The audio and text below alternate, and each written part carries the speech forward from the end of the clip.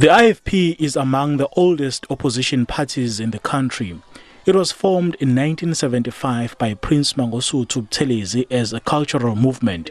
Shortly afterwards, relations between him and the ANC in exile were strained, leading to a conflict in the 80s and 90s. 20,000 people died mainly in KwaZulu-Natal and Gauteng. I told my people that they mustn't just lie down. They must, they must actually defend themselves. Mm. Defend themselves you know, they were attacked by them. They were revenge attacks by uh, IFP. They were pre preemptive attacks by the ANC. They were preemptive, preemptive attacks by the, what do you call you know, so, so that we cannot be equated with the, in that conflict with the ANC as if we, we actually wanted war too. We were, we were defending ourselves.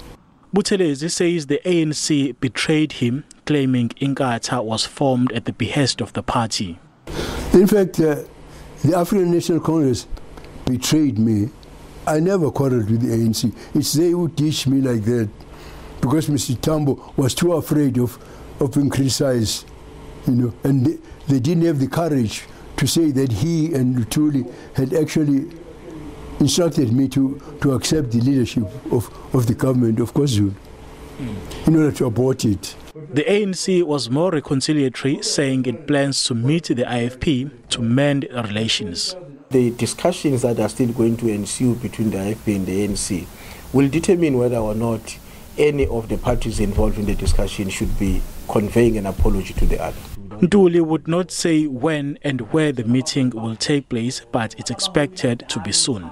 Simpiwe Makanya, SABC News, Ulundi. Okay, we invite you to give us a call. Uh, the number is plus two seven one one seven one four six eight four one, and the question we're asking you today is.